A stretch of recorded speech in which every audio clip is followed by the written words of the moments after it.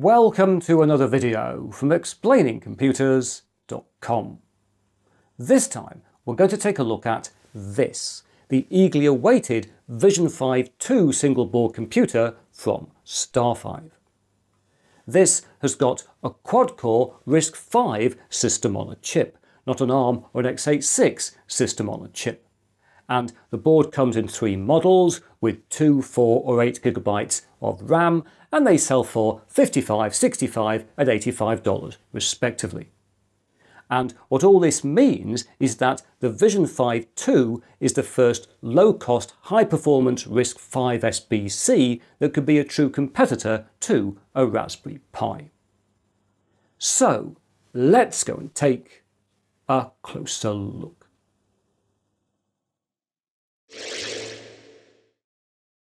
So here we have our VisionFive 2 and specifically a 4GB model which I bought as a super early bird backer for 68 Singapore dollars which is about 51 US dollars.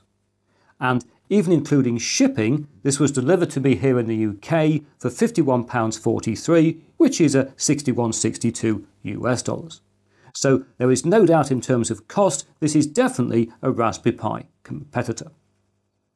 So let's open it up. Let's bring in uh, Stanley knife and just uh, slice through if I can some with this uh, stuff. I can never get into things, can I? Go on, there we are. Got the thing off like that. Oh, it's lovely soft touch cardboard, matte laminate and things. There we are. I'll get in eventually, you know I will. And get inside, there we are. Oh, it's getting exciting now. Here we have our new single board computer. In a little bag, is it sealed? No, it isn't. And uh, it's slightly caught though. There we are. Here is the VisionFive 2.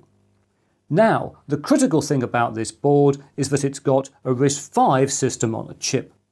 And in case you don't know, RISC-V is a free and open instruction set architecture, or ISA, that provides an alternative to the closed source ISAs used in today's x86 and ARM CPUs. And if you want to know more about what this means, watch my Explaining RISC-V video and look out for my RISC-V 2023 update. Now, just before we dig into specifications of this board, I think it's worth comparing it to one I've got over here, which is a VisionFive 1 launched in January 2022.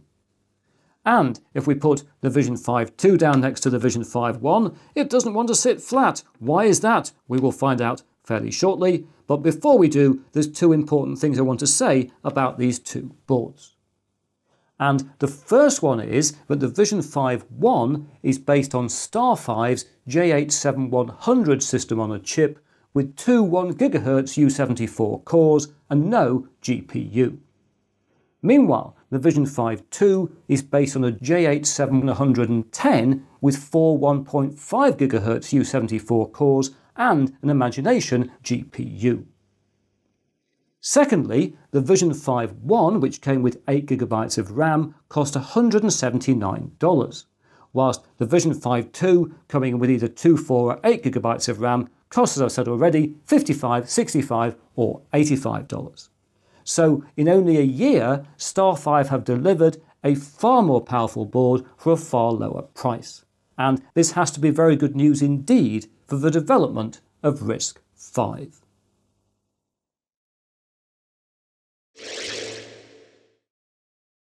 As we can see, the VisionFive 2 adopts the increasingly common Pico ITX form factor which means that the board is 100 by 72 millimeters with most of the major end user connectivity on one edge. At the heart of the board is StarFive's JH7110 system on a chip, with its four SiFive 1.5 GHz U74 64-bit cores that support the RV64GC ISA. These are coupled with an Imagination BXE432MC1 GPU, which by default is clocked at 400 MHz, although it can run at up to 600 MHz. To get a feel of how this chip weighs up against an ARM SoC, SiFive compare their RISC-V U74 cores to ARM Cortex A53 and A55. given that a Raspberry Pi 3B Plus has four 1.4 GHz A53 cores, it's therefore reasonable to state that, in terms of processing power, the VisionFive 2 sits somewhere between a Raspberry Pi 3 and a Raspberry Pi 4. Turning to the main lung edge of the VisionFive 2, we find a 3.5mm audio jack, two Type A USB 3 ports and two Type A USB 2 ports, even if all four of these ports are colour-coded blue to try and confuse us. We also get a full-size HDMI 2.0 connector supporting up to 4K at 30 frames a second and two RJ45 sockets. On most VisionFive 2 models, these both provide 1 gigabit Ethernet, although on this super early bird hardware, one of the ports is limited to 100 megabits. Turning to the first short edge, we find a 2-pin fan header together with a MIPI CSI or camera serial interface connector for hooking up a camera. Spinning 90, we then find a USB-C connector for supplying the board with 5 volt power, as well as indicator LEDs, a reset switch, and a 40-pin GPIO header. And you'll be pleased to hear that Python support for this connector is already available, as I'll demonstrate towards the end of this video. But before that, let's rotate to our second short edge, where we discover two MIPI DSI or display serial interface connectors that support 1080p LCD panels. Looking back at the top of the board, we can see our RAM, which here is 4GB, although sadly I have to report we've got no onboard Wi-Fi or Bluetooth. So for wireless, a USB dongle is required. It's also worth noting that nestled behind the GPIO header are these two DIP switches, which allow us to select booting from the SPI flash, a microSD card, eMMC or UART. And Talking of which, if we turn the board over like this, we discover three storage options. For a start, we've got a microSD card slot here, and then down here, we've got the connectors for an eMMC flash module. And then the thing that stops the board resting flat on a surface is this, a very welcome M.2 connector, which supports an NVMe SSD, which mounts neatly under the board just the way it should. And so there we are, the VisionFive 2, a reasonably priced SBC with a great specification that will allow a lot more makers, enthusiasts and developers to start experimenting with RISC V.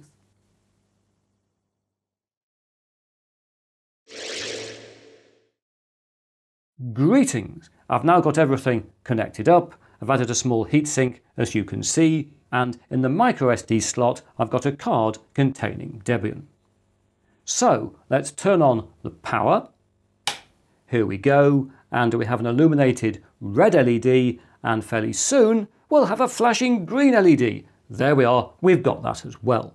And what we're booting up is an engineering release of Debian, as the final version is not yet available and this is because these are very early days both for the VisionFive 2 as well as for desktop RISC-V computing more broadly.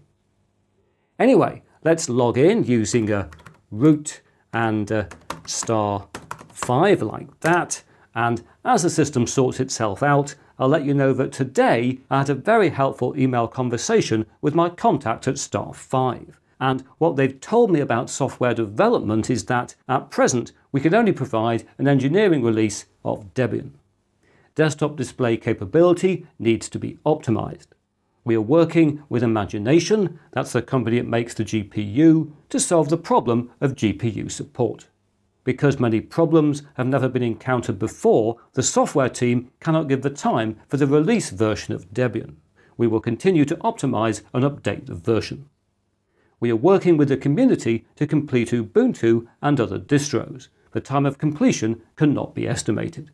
In my opinion, it will take several months to mature the VisionFive 2 software ecosystem, which requires the joint efforts of the RISC-V community. So, with all that explained, here we are on the Debian desktop, and it does work. So for example, if we go up to the menu, we can see there's quite a lot of software installed here. Some of this was here with the image, some of the stuff I've installed myself, but it's a pretty comprehensive suite of things available on this uh, RISC-V system. Let's start off by running up LibreOffice Writer, which I think is very exciting because this is the first time I've seen LibreOffice running on RISC-V hardware. So we'll give it a second, I'll let it run through in real time. We're almost there, almost running LibreOffice Writer. It's very exciting indeed. Come on, you can do it. It's done it. Here we are in LibreOffice Writer. And we'll do my normal thing of typing hello like that and selecting it. And we'll try and make it very large indeed.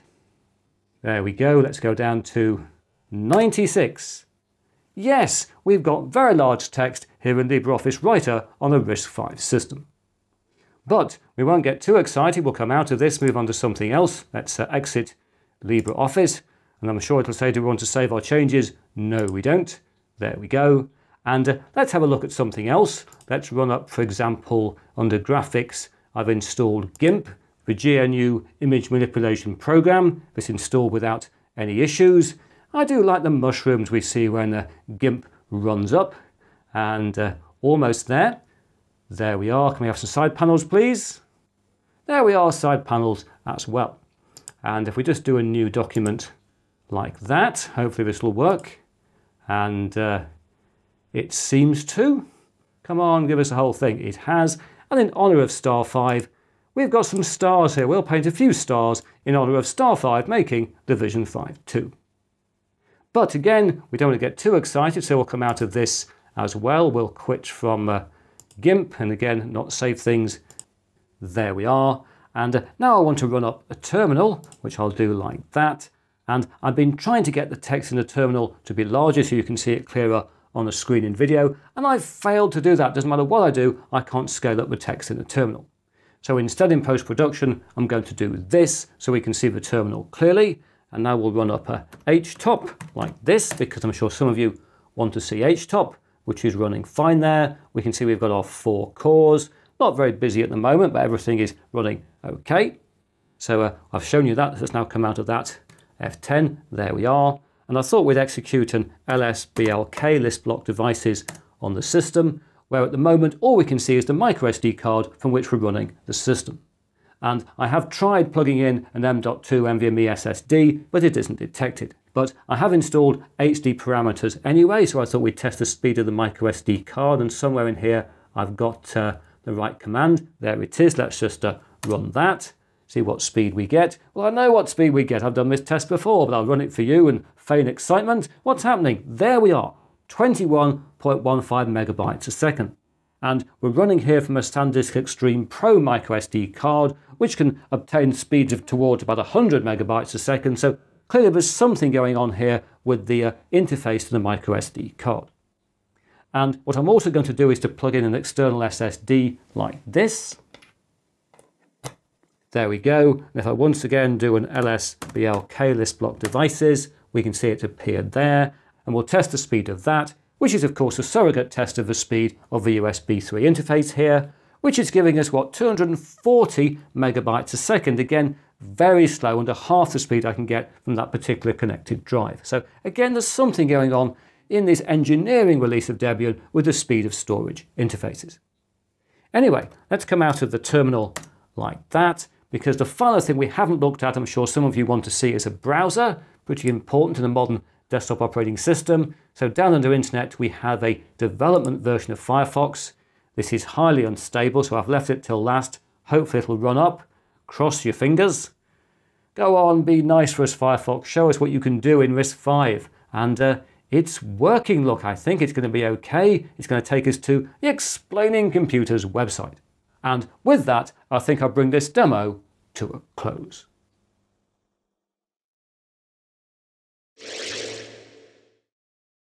Guess what? It's me back again, and I've now wired two LEDs with current limiting resistors to some GPIO pins here on the VisionFive 2.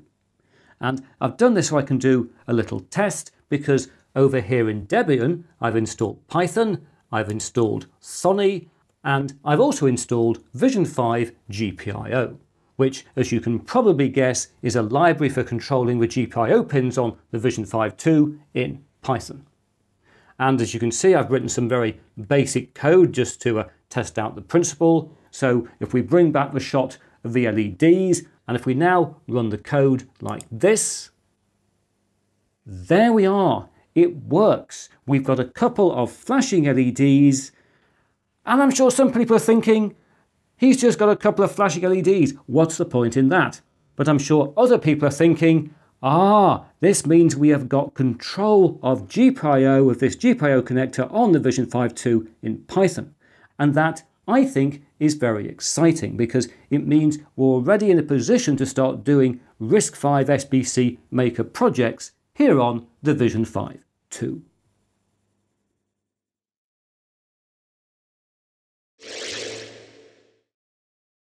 The VisionFive 2 is an important SBC that will provide wider access to RISC-V hardware capable of running a Linux distro. Now, I'm sure there are people in the comments going, Chris, it's just like some of the ARM boards you review on the channel, great hardware hasn't got the software support. However, I don't think that type of criticism is valid in this particular case, and that's for two reasons. Firstly, end user Linux distro based RISC-V computing is very new. It's only been possible at all for a few years. The hardware has been very expensive. It got less expensive in 2022 with the launch of boards like the first VisionFive, but it's only now with the launch of the VisionFive 2 and a couple of other boards, and they are coming out in 2023, that we're going to get more and more people having access to what is in the broadest sense a development board. This is a development board for the whole RISC-V end user computing you know, ecosystem. And we should expect that boards like this will have to be in the hands of developers for some time before we get the same level of support for desktop RISC-V computing that we currently enjoy for x86 and ARM. And it's also worth remembering I bought super early bird hardware. This was shipped to me and the other super early bird backers a few months ahead of when most people will get their boards. So when most people get their hands on a VisionFive 2, the software will have advanced because time will have passed. It's also worth remembering that StarFive, the company who make this board, are not like the manufacturers of most ARM SBCs, because they don't just make the VisionFive 2, they also make its system on a chip, the JH7110. And therefore, they've got a massive incentive to develop software to support their chip in the marketplace. We know that already there's going to be at least one more SBC launched in 2023 using the JH7110 the Star 64 from Pine 64, and so development for this board has got knock-on implications more broadly for other boards in the ecosystem, and that will pull in developers. Developers like a new frontier, and RISC-V is a new frontier, and working to develop for this board is part of that, and that will catalyse development and make things happen. But now that's it for another video. If you've enjoyed what you've seen here, please press that like button. If you haven't subscribed, please subscribe, and I hope to talk to you again very soon.